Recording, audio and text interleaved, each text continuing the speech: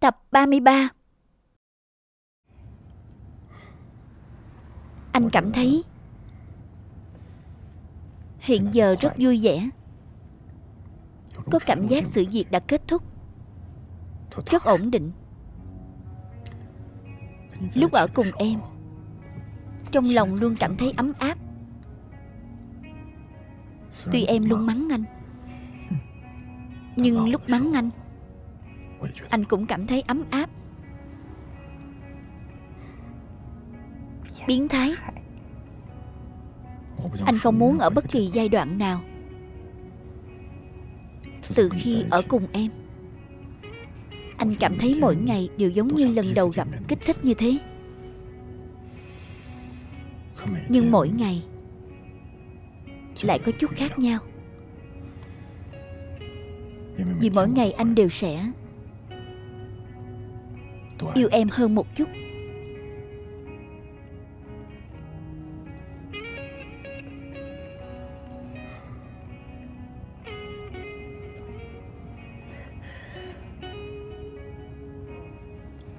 Hiện giờ anh Ở kênh mua sắm lâu. Cũng rất biết anh nói. Anh nghiêm túc đấy, Đại Diệp. Bắt đầu từ ngày hai chúng ta quen biết, Mỗi câu anh nói với em đều là nghiêm túc.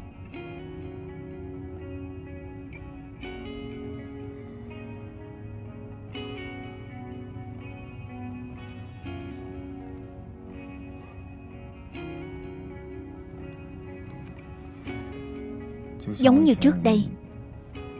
Anh nói em đáng ghét, Nói em cố chấp, Nói em giống người đàn bà chua ngoa, Cũng là nghiêm túc. Anh nói những lời này là đang nghiêm túc à? Thật ra có lúc anh cảm thấy như vậy. Dừng xe. Em làm gì? Em bảo anh dừng xe. Chỉ chỉ là Thảo luận học thuật chút thôi. Thảo luận cái gì? Em không muốn thảo luận. Dừng xe cho em. Không phải anh kể ưu điểm của em rồi sao? Không phải đã khen em một hồi rồi sao? Con người không thể. Nhanh dừng xe. Em đáng ghét thế đấy. Đúng thế. Hiện vậy muốn xuống xe. Anh dừng xe. Anh đang lái mà. Làm gì thế? Thật là gì mà làm gì? Nói tốt mấy câu về em thì anh chết à? Không phải anh đã nói nhiều lắm rồi sao? Sao chỉ vài câu em lại không nghe lọt tai rồi? Em không nghe lọt đó. Sự thật mất lòng. Thật là Em không cảm thấy có lúc Con người có chút khuyết điểm Là điều bình thường sao? Anh nói em nghe. Em đáng ghét chỗ nào? Hay là chỗ nào cũng đáng ghét? Chỉ chỉ có chút xíu thế này. Chỗ nào? Anh nói Anh nói em nghe chỉ chút xíu. Anh cảm thấy hôm nay mẹ không ở nhà là ý trời. Chứng tỏ hôm nay không phải lúc để ngã bài. Chuyện ngã bài, Chọn ngày không bằng gặp ngày Lần này, em phải xin lỗi cô cẩn thận, Không phải dai dai. Thế này, Anh cảm thấy hay là chúng ta quản lại hai ngày, Hôm khác rồi tới. Hôm nay chúng ta đi trước đi trước. Anh đứng lại. Anh quay về. Anh muốn quay về đâu? Anh vẫn muốn về chỗ em à? Em nói anh biết từ trong xương tủy, Em là cô gái truyền thống. Hai chúng ta chưa kết hôn. Anh ở chỗ em một tối thì thôi. Sao? Anh còn muốn ở luôn nhà em à Vậy sao mà được? Vậy anh chuyển ra ngoài ở. Anh chuyển ra ngoài. Anh chuyển đi đâu? Chuyển tới căn nhà nát đó của anh à. Cho dù anh muốn chuyển ra ngoài, Hôm nay cũng phải nói cho rõ ràng rồi đi. Nói rõ cái gì? Mẹ con quyết định không ra nước ngoài nữa. Cái gì? Con không ra nước ngoài nữa. Mẹ dứt giải nhiều quan hệ làm thủ tục. Con nói không đi là không đi. Không phải, mẹ. Xin lỗi, mẹ đừng giận. Mẹ có thể không giận sao? Con nói đi. Có phải con hồ ly tinh này đưa ra chủ ý tội cho con? Có phải con bị cô ta mê hoặc được không? Cô đừng luôn miệng hồ ly tinh, hồ ly tinh.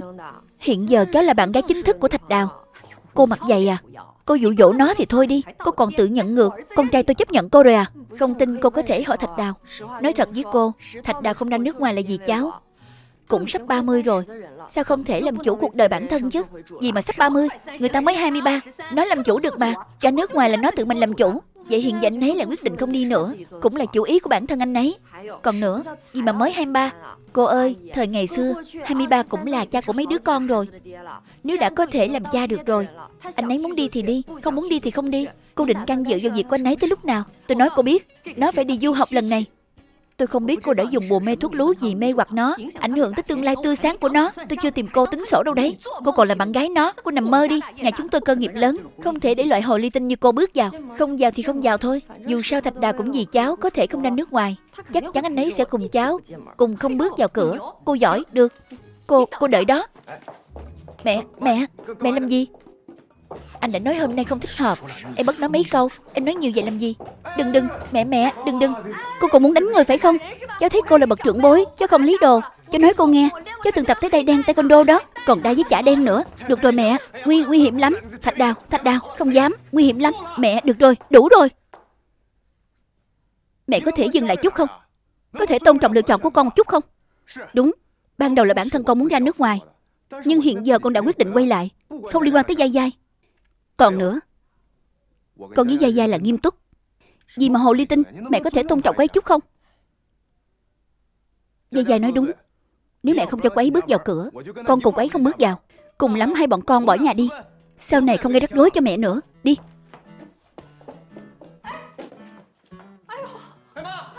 Cô ơi, cô ơi, cô ơi. Mẹ, mẹ ơi, sao vậy? Mẹ, mẹ tỉnh lại. Mẹ, không sao chứ. Nhanh, gọi cấp cứu, nhanh nhanh. Nhanh đi gọi điện thoại, nhanh. Mẹ, mẹ, mẹ tỉnh lại. Mẹ tỉnh lại đi, con sai rồi.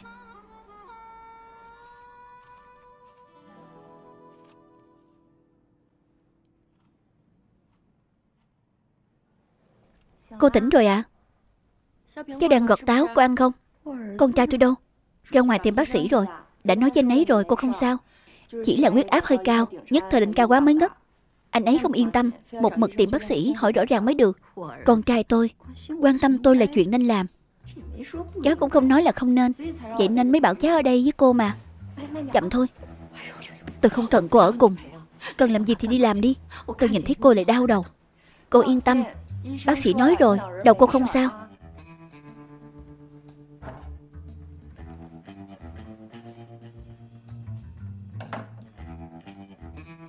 Cháu thấy môi cô khô, Uống chút cho bớt khô. Tôi không uống. Sao thế? Sợ cháu hạ độc à?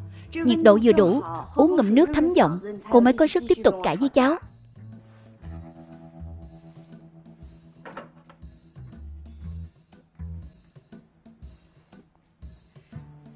Cháu thấy cô cũng chưa lớn tuổi. Dù sao Thạch đà cũng trẻ, Gọi cô là cô dường như gọi cô bị già. Từ bây giờ, gọi chị là bà chị nhé. Thật ra có một chuyện em rất không hiểu. Chị nói cô này không tốt, Cô kia cũng không nghiêm chỉnh. Rốt cuộc chị muốn Thạch Đào nhà chị tìm cô gái thế nào? Con trai tôi vẫn còn trẻ, Con gái theo đuổi nó nhiều lắm. Đến lúc đó tôi từ từ chọn, Rồi cũng có thể chọn được một cô gái hợp mắt. Chị từ từ chọn, Vậy là chị tìm bạn gái, Hay con trai chị tìm bạn gái? Đây là vấn đề của chị, Chọn hợp mắt chị. Bạn thân với tầng nhà chị Cũng hợp mắt chị đó. Sao chị không để cô ấy là bạn gái con trai chị? Tôi không thích nghe cô nói chuyện mà. Cô biết ăn nói không? Cô hiểu nghệ thuật nói chuyện không? Em nói chuyện Trước giờ không chú trọng nghệ thuật, Chỉ chú trọng sự thật.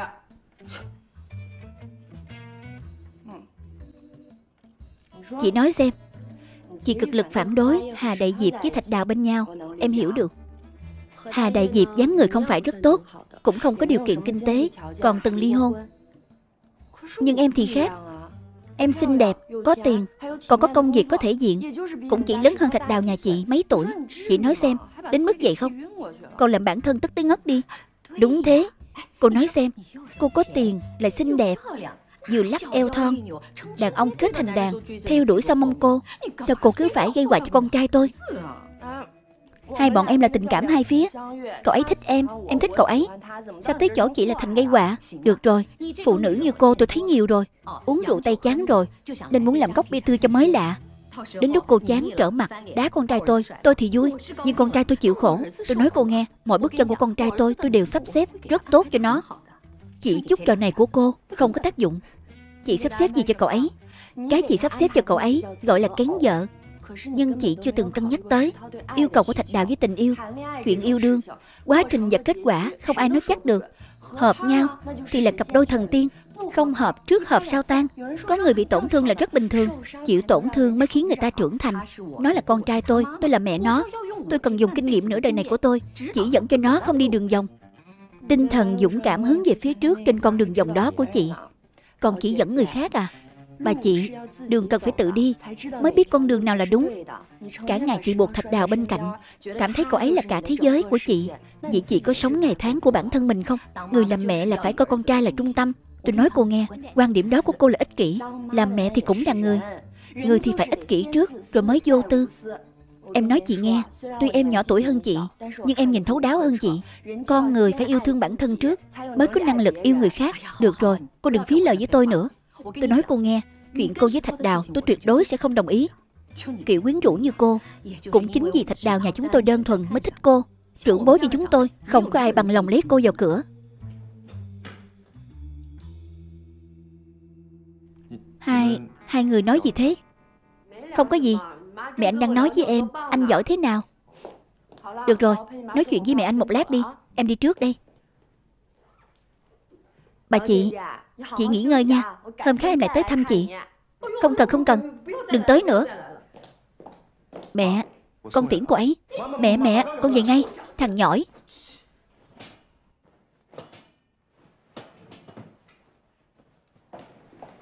dai Dây dai Sao anh ra đây. Không phải bảo anh ở cùng mẹ à. Em không nói gì kích thích mẹ chứ. Sao? Không tin em à? Tinh thần mẹ anh tốt lắm. Không kích thích nổi bà ấy đâu. Yên tâm đi Dài dài Xin lỗi. Mẹ anh nói chuyện không được dễ nghe. Anh thay mặt xin lỗi em. Đừng để tâm. Em không nhỏ nhen vậy đâu.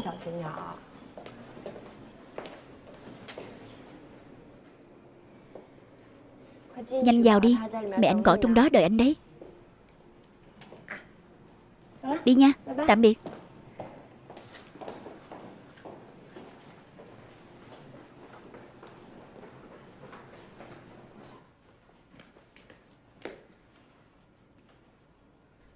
Mẹ.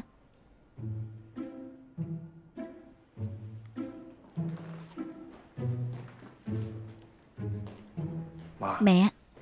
Con xin lỗi mẹ. Con tiễn cô ta trước rồi mới tới thăm mẹ.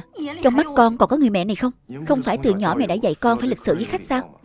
Tuy Gia Gia là bạn gái con Nhưng người ta cũng tính là khách. Mẹ thì khác. Mẹ là người nhà. Sao có thể giận dỗi với khách được Mẹ nói con biết Con yêu đương với cô ta mẹ không đồng ý. Con tự xem mà làm. Mẹ Con biết sai rồi. Con không nên không bàn với mẹ. Tự ý quyết định không đi du học. Cũng không nên Không cho mẹ chuẩn bị tâm lý Đã đưa Gia Gia về gặp mẹ. Con xin lỗi. Mẹ đừng giận nha Con sai rồi. Được Vậy con nói mẹ nghe xem Vì sao con lại không đi du học nữa? Vì ở đây có quá nhiều người và chuyện khiến con bận tâm. Bạn con Người con thích Quan trọng nhất là còn có mẹ Trọng tâm cuộc sống của con đều ở Thượng Hải. Sao có thể tùy tiện rời đi được vốn định ra ngoài trốn tránh, nhưng đi được nửa đường, đột nhiên con hiểu ra, trốn tránh không giải quyết được vấn đề. Con trốn ra ngoài, trốn bao nhiêu năm quay về, những người này, chuyện này vẫn tồn tại. Không phải con vẫn phải đối mặt sao? Nhưng con có nghĩ không? Mẹ bảo con đi là muốn để con rời xa những chuyện con vừa nói. Mẹ thà con trốn tránh. Mẹ cũng hy vọng con có thể bình yên thuận lợi, sống hết cuộc đời này. Mẹ, con biết. Con biết những điều mẹ nói con đều hiểu. Đều là gì tốt cho con, Trong lòng con đều hiểu. Vì bản thân con cũng hy vọng con tốt. Chỉ cần con tốt, Mẹ mới yên tâm, Mẹ mới vui vẻ. Mẹ vất vả, nuôi con lớn tới từng này. Giờ con nói đi là đi, Bỏ mẹ lại trong nước không quan tâm. Vậy còn là con trai mẹ sao? Mẹ, Con hy vọng mẹ tin con. Con có thể tự sống tốt. Sau này cũng có thể chăm sóc tốt cho mẹ. Con trai Mẹ chỉ có một người thân là con thôi. Mẹ rất sợ con đi sai đường, Sợ con bị tổn thương. Hồi con còn nhỏ, Mẹ chỉ mãi kiếm tiền, Không chú ý được tới con. Sau này lại khăng khăng ly hôn với bố con. Mấy năm nay, Mẹ cảm thấy nợ con. Mẹ nói lời này, Con không vui nhé vì mà nợ Con vẫn luôn sống trong đầy đủ. Tốt nghiệp rồi còn sống dựa gia đình. Mẹ cũng không trách con. Hơn nữa mẹ xem Mẹ nuôi con mạnh khỏe thế này Còn cao thế này. Quan trọng là thạch đào con còn là người tốt Không phải đều nhờ mẹ dạy dỗ tốt phải không? Mẹ đừng giận nữa. Mẹ không giận nữa. Mẹ Mẹ nói xem. Bao lâu rồi hai chúng ta không nói chuyện đàng hoàng như vậy? Đúng thế. Lâu tới mức Mẹ không nhớ nổi nữa Mỗi lần gặp là cãi nhau. Nói nhiều lời khó nghe như vậy. Mẹ buồn con cũng buồn. Nói rồi nhé Từ nay trở đi Sau này không cãi nhau. Tốt đẹp như thế này được không?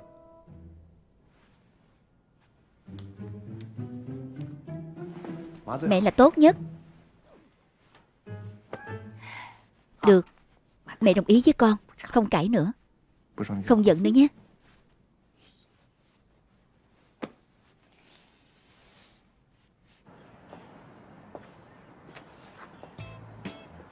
Alo, Anh tới đâu rồi? Em đã tới cửa nhà anh rồi. Vừa xuống máy bay, đang về đây. Vậy em đợi anh ở cửa nhà. Hay em tự vào trước? Em giả vờ cái gì? Không phải đã đưa em mật khẩu rồi sao? Vậy được, Vậy em vào trước, dọn dẹp cho anh. Long trọng chào mừng anh trở về. Được. Anh nói chứ, em cũng rảnh thật đấy. Công ty trước đây vẫn vậy. Giờ công ty này vẫn thế. Xem may thế. Sao anh theo kịp. Tối qua cô ấy vừa tổ chức đám cưới xong, Hôm nay mới về. Em đoán gần đây cũng sẽ không có hoạt động gì. Hiện giờ nhiệm vụ hàng đầu của cô ấy Là yên tâm dưỡng thai. Có bầu ở tuổi này không dễ.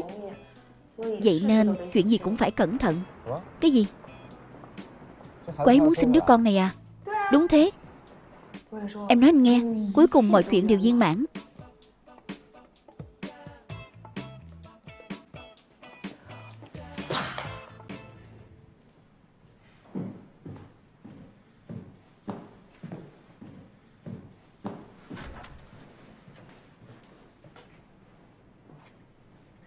Sao anh tới đây.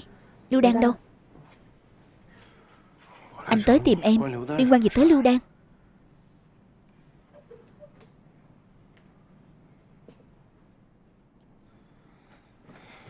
Được rồi. Đừng mang bộ dạng quay phong lẫm liệt nữa. Đúng là anh đã ở bên Lưu Đan. Nhưng anh không thể gặp riêng em mà. Em với anh có gì mà gặp riêng? Hai chúng ta có gì để nói? Hiện giờ chúng ta là bạn. Trước đây là vợ chồng.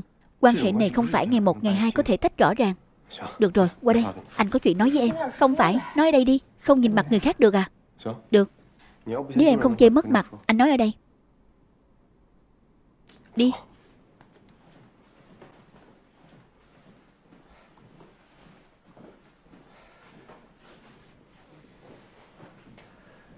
Đại Diệp Không dùng do với em nữa.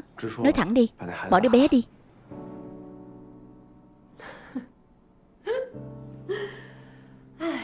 Em tưởng là chuyện gì chứ? Đúng.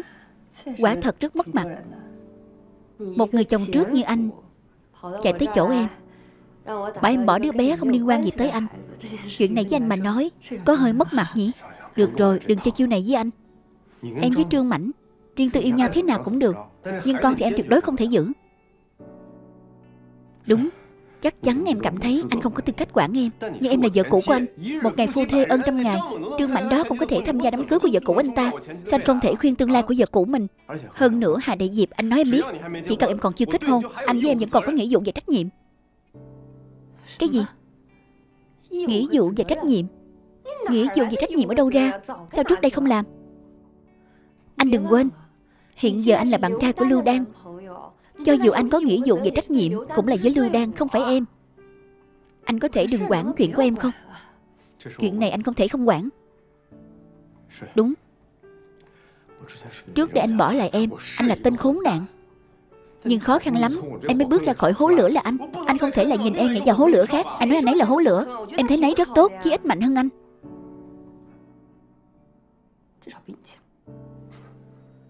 Sao?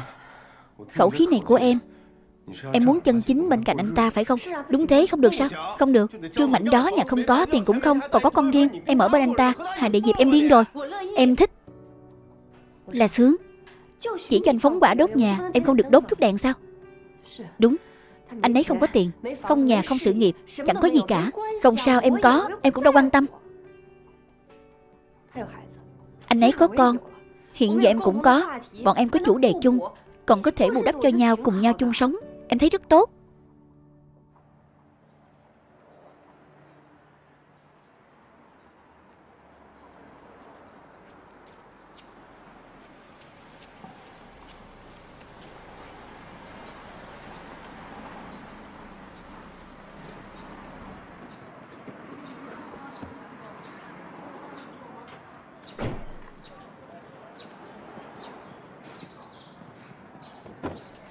Nào Đưa cho bố cặp? Dân. Trương Mảnh, Bố mới đi một ngày. Con đã nhớ bố rồi. Con mới đi một ngày mầm mép đã dẻo hơn rồi. Mẹ con thế nào? Đi thăm rồi chứ. Bác sĩ nói mẹ hồi phục rất tốt. Mấy ngày nữa là có thể xuất viện. Con cũng cảm thấy mẹ khỏe hơn nhiều rồi. Mẹ còn trang điểm. Đẹp lắm. Trương Mảnh, Cô Đại Diệp, Sao cô ấy không tới đón con?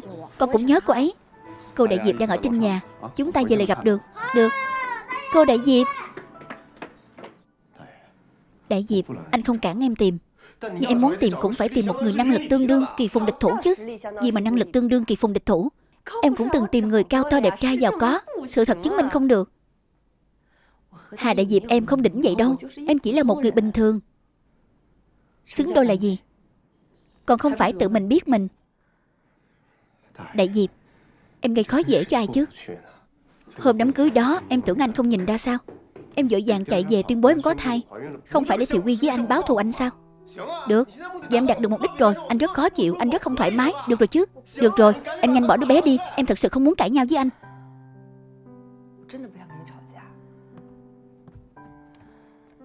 Nói thật Thật ra em cảm thấy Trương Mạnh rất tốt. Em rất thích anh ấy. Vừa thành thật, Vừa đáng tin. Đối xử với em cũng tốt. Hiện giờ anh có lưu đan. Em với anh ấy cũng có con. Em cảm thấy Tất cả chuyện này đều vừa hay. Chúng ta Ai sống cuộc sống của người ấy Tự mình trân trọng. Không được sao? Không được. Trương Mạnh đó Em mới biết anh ta được mấy ngày. Em hiểu anh ta không? Ban đầu em cũng cảm thấy anh thành thật đáng tin. Anh sẽ tốt với em. Kết quả thì sao? Kết quả chính là một tên khốn nạn. Tình hình hiện giờ càng phức tạp. Ban đầu chúng ta đăng ký kết hôn Em đi làm thủ tục ly hôn, Là chuyện này được giải quyết. Nhưng hiện giờ em sinh đứa bé ra, Anh lại phát hiện anh ta khốn nạn thì muộn rồi. Em đặt cả cuộc đời mình vào đó em có biết không? Có phải anh bị điên không?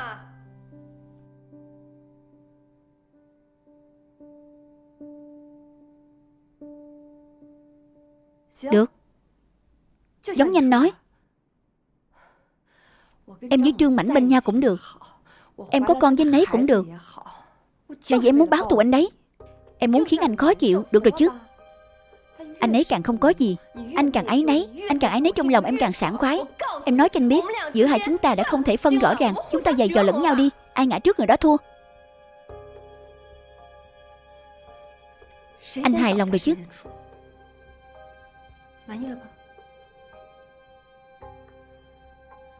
Hà Đại Diệp, Có phải em tâm lý biến thái không? Sống bình yên không được, Cứ phải giày dò lẫn nhau à? Em muốn sống bình yên. Ai cho em cơ hội?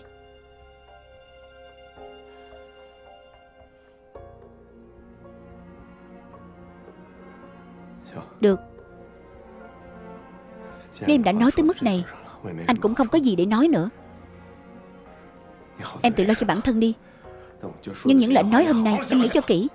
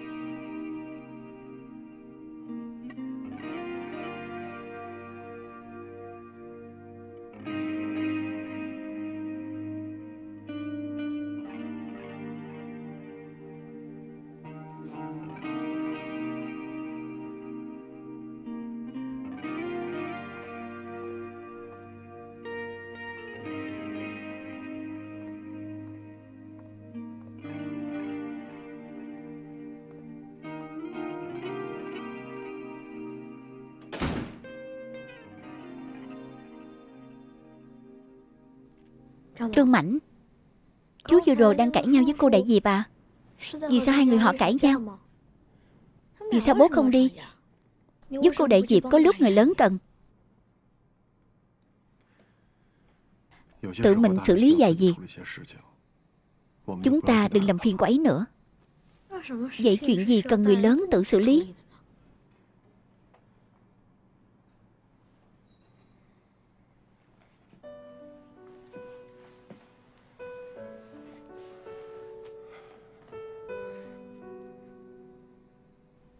Dương Dương. Mẹ con vừa phẫu thuật xong Con nên ở bên cạnh mẹ nhiều hơn. An ủi mẹ. Nếu như vậy Mẹ có thể nhanh khỏi hơn đúng không? Nhưng con muốn ở cùng bố. Chúng ta có thể thường xuyên đi thăm mẹ. Con cũng hy vọng mẹ có thể sớm khỏe lại Đúng không Thế này. Bố hứa với con Bố sẽ thường xuyên tới thăm con. Đợi mẹ khỏi bệnh. Bố lập tức tới đón con về. Được không? Được không? Vậy giờ chúng ta về thu dọn hành lý. Con có thể mang theo toàn bộ đồ chơi con thích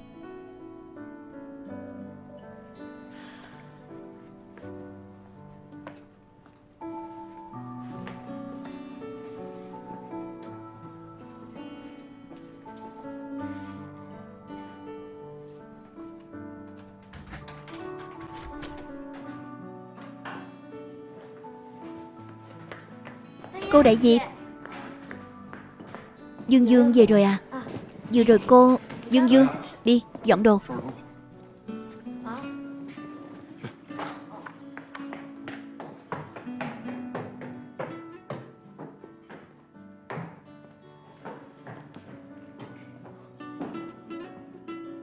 Đại Diệp, Anh muốn nói chuyện với em.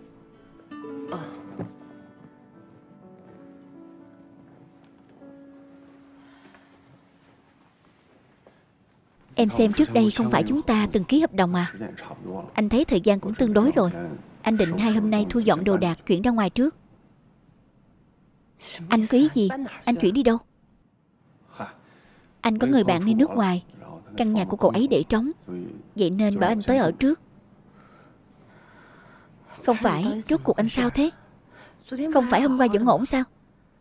Nó muốn ở cạnh em Còn nói muốn chăm sóc em. Sao, sao hôm nay muốn ra ngoài là ra ngoài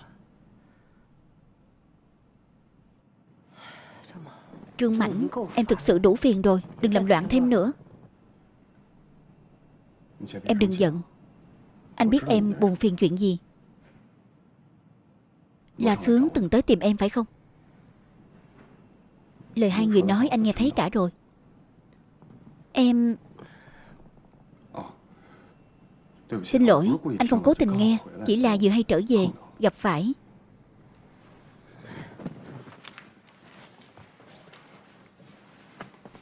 Không phải Trương Mảnh.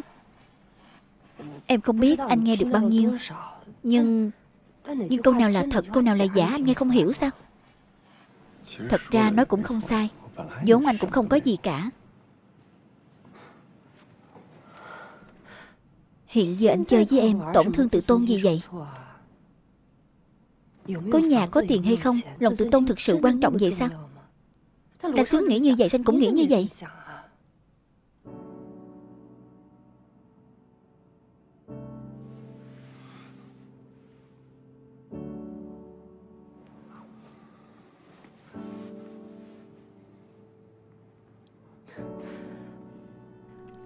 Sao đàn ông em tìm được không đáng tin như vậy? Được. Muốn chuyển đi phải không? Vậy bây giờ anh chuyển đi luôn đi. Em cho anh hai ngày phải chuyển cho xong. Em không muốn gặp anh nữa.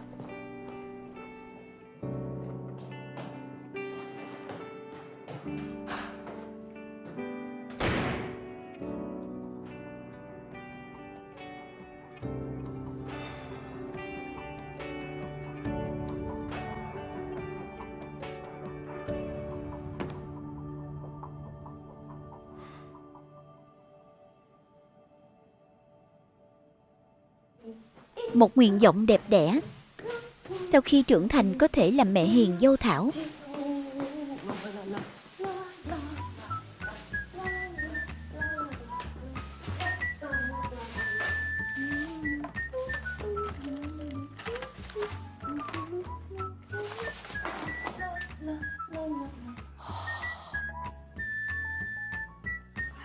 Sạch rồi.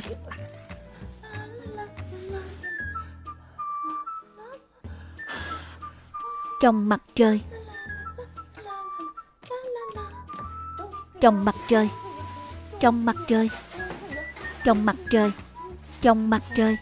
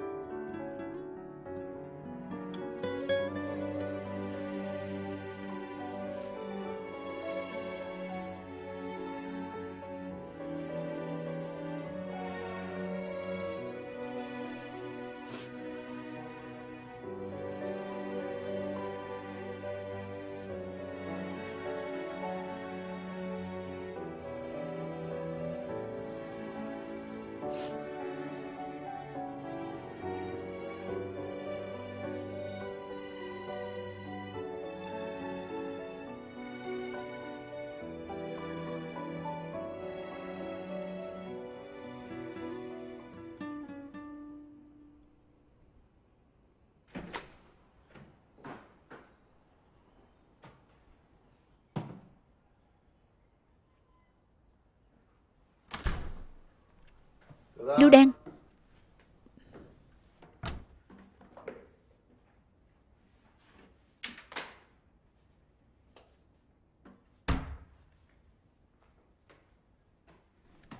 Lưu Đan.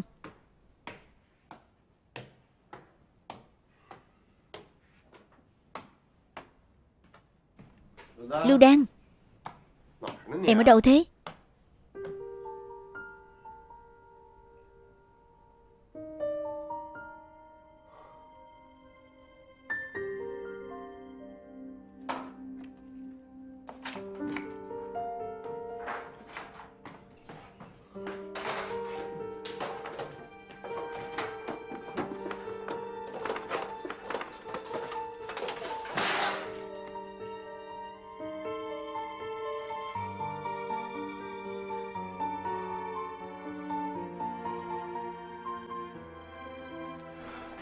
Có gì thì em hỏi.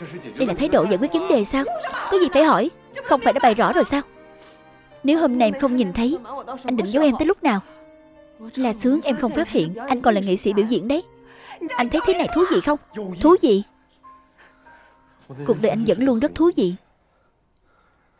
Không sai. Thần tượng của em, nữ thần của em Tấm gương của em Hà Đại Diệp Chính là vợ cũ mà anh lưu luyến không quên. Quảng anh quen biết hai tháng, liền kết hôn. Tốc độ còn nhanh hơn anh với em. Xem ngốc như vậy, Em còn tốn công sức làm quà quan hệ của hai người. Chẳng trách hai người vừa gặp đã bất hòa. Chẳng trách anh vừa nghe quấy có thai liền phản ứng lớn như vậy. Chẳng trách em có thể tình cờ gặp anh ở nhà quấy Em tưởng đây là duyên phận Quá ra đều là hai người đã thông đồng với nhau. Là sướng. Hai người của em là gì? Em là đứa ngốc nhất trên thế giới này.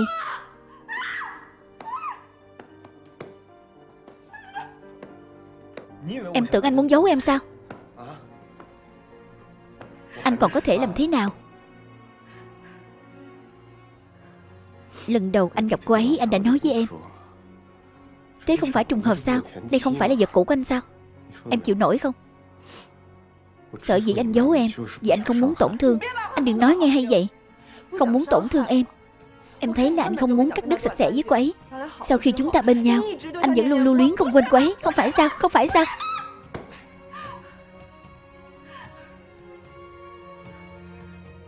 Nhưng có thể làm thế nào đây? Cô ấy mang thai rồi. Mang con của người khác. Không phải anh rất coi thường Trương Mảnh sao? Anh đi tìm cô ấy đi. Giờ vừa đúng lúc, Cần một người đón nhận nhanh sao? Anh đi đi, Anh đi đi, Anh đi đi. Em đủ rồi đó.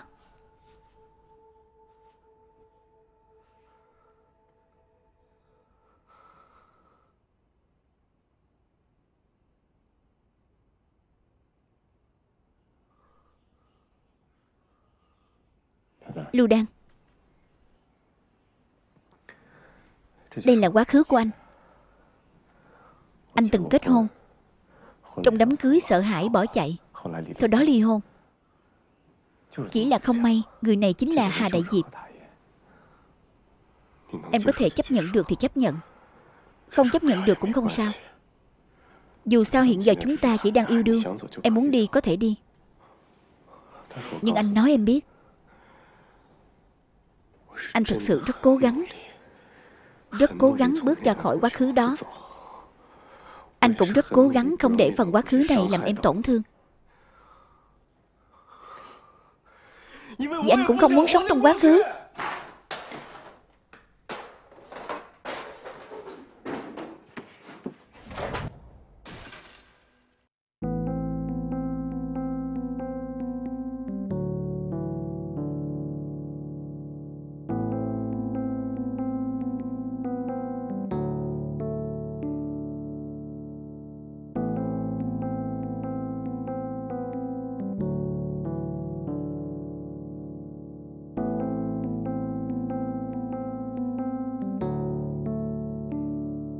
Được rồi, đừng nhặt nữa. Quay về cùng anh xử lý vết thương. Đi đi, đi. Vẫn còn tiền. Tiền cái gì mà tiền? Em nhặt chỗ này còn không đủ để em tìm uống dáng. Đừng nhặt nữa, đi. Đi theo anh. Buông em ra. Chúng ta không nhặt nữa, không nhặt nữa.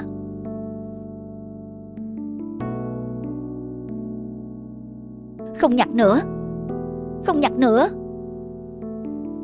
Không nhặt nữa được không? Thứ trong hộp này Đã không còn bất kỳ quan hệ gì với anh nữa. Anh hứa với em, Sau này chỉ mang đồ liên quan tới em về nhà. Được không? Không nhặt nữa. Trong hộp có tiền. Trong ảnh có anh. Đồ liên quan tới anh Cũng có liên quan tới em.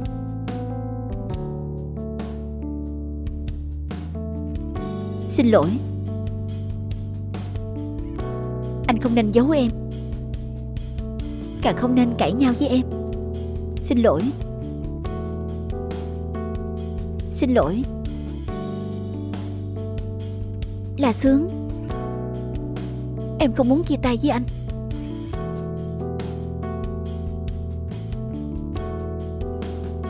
Cô nàng ngốc. Ai muốn chia tay với em?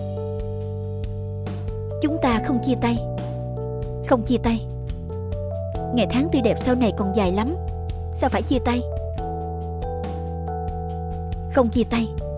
Không chia tay.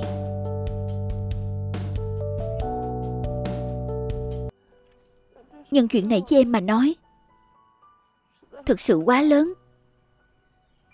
Em không thể ngay bây giờ nói với anh. Em không sao. Em không quan tâm.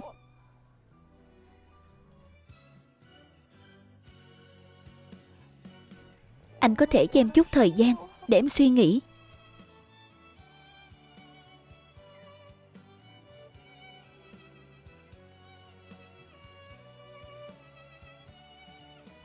Được. Được.